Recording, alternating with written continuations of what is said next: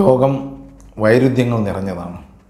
ഇനി അങ്ങനെ ആയില്ലെങ്കിൽ കാലം ആ മാറ്റം ഉണ്ടാക്കാതിരിക്കില്ല. ഇപ്പോൾ തന്നെ നോക്കൂ മഹാരാഷ്ട്രയിലെ ശിവസേന എന്തുമാത്രം മുസ്ലിം ന്യൂനപക്ഷ വിരുദ്ധമായിരുന്നു.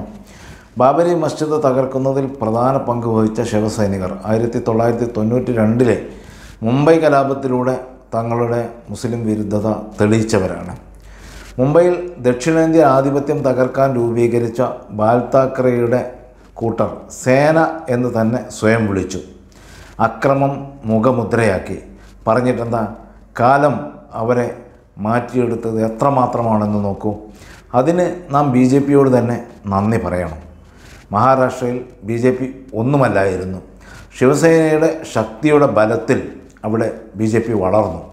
താക്കറയുടെ കാലശേഷം സേനയെ അവർ രണ്ടാക്കി പിളർത്തി. ഒരു കൂട്ടരെ കൂടെ കൂട്ടി. അവർക്ക് അധികാരത്തിന്റെ അപ്പകഷ്ണങ്ങൾ മാത്രം നൽകി. അതിന്റെ ഫലമായി ഒടുവിൽ ബി ജെ പിയെ വിട്ട് ശിവസേന മതേതര ചേരിയിലേക്ക് വന്നു. സേന ആകെ മാറുന്നതാണ് പിന്നീട് രാജ്യം കാണുന്നത്. മുമ്പ് കോൺഗ്രസ് ഭരിക്കുമ്പോൾ പോലും സഞ്ജയ് ദത്തിനെ ടാർഗറ്റ് ചെയ്ത് കൊല്ലങ്ങളോളം അഴിക്കുള്ളിലാക്കി. കരിയർ നശിപ്പിച്ചു. അതേ അടവാണ് ആര്യൻ ഖാനെ അറസ്റ്റ് ചെയ്യുക വഴി ഷാരൂഖ് ഖാനെ തകർക്കാൻ ശ്രമിച്ചതിലൂടെ ഉണ്ടായത്.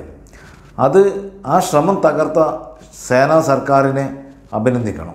ഇപ്പോഴിതാ ബുള്ളി ബായ് ആപ്പിലൂടെ മുസ്ലിം സ്ത്രീകളെ വിൽപ്പനയ്ക്ക് വെച്ച കേസിൽ പ്രതികളെ അറസ്റ്റ് ചെയ്യാൻ ശിവസേന സർക്കാർ വലിയ മനസ്സാണ് കാണിച്ചത്.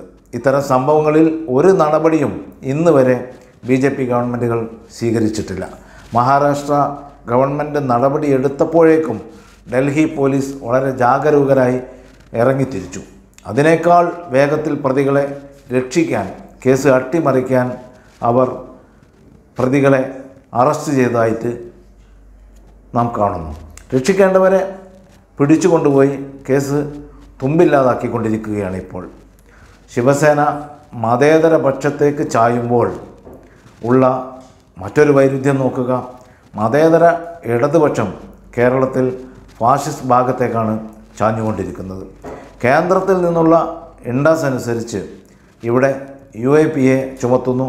പോലീസിനുള്ളിൽ ആർ എസ് എസ് നുഴഞ്ഞുകയറ്റമുണ്ടാകുന്നു. ആർ എസ് എസുകാർ പ്രതികളായ എല്ലാ കേസിലും അവർക്ക് സംരക്ഷണം ലഭിച്ചുകൊണ്ടിരിക്കുകയാണ്.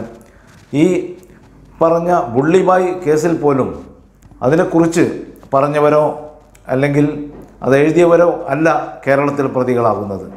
അതിനെ വിമർശിച്ചവരും വിമർശിച്ചത് ഷെയർ ചെയ്തവരുമായ ആളുകളെ പ്രതികളാക്കി കേസെടുത്ത സംഭവമുണ്ടായി.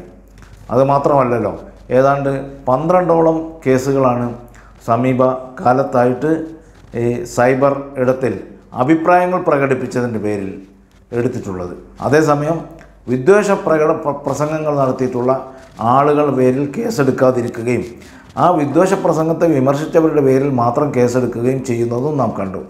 ഇങ്ങനെ നമ്മുടെ ഏറ്റവും വലിയ മതേതര പാർട്ടിയായിട്ടുള്ള സി പി എമ്മും ഇടതുപക്ഷവും ഭരിക്കുന്ന ഗവൺമെന്റ് വലതുപക്ഷത്തേക്കും അതുപോലെ തന്നെ ഫാസിസ്റ്റ് ചേരിയിലേക്കും വളരെ വേഗം ചരിഞ്ഞുകൊണ്ടിരിക്കുന്നതിന്റെ ഉദാഹരണം നാം കണ്ടുകൊണ്ടിരിക്കുമ്പോൾ മഹാരാഷ്ട്രയിൽ നിന്ന് നേരെ തിരിച്ചുള്ള രജതരേഖകളും കാണുകയാണ്.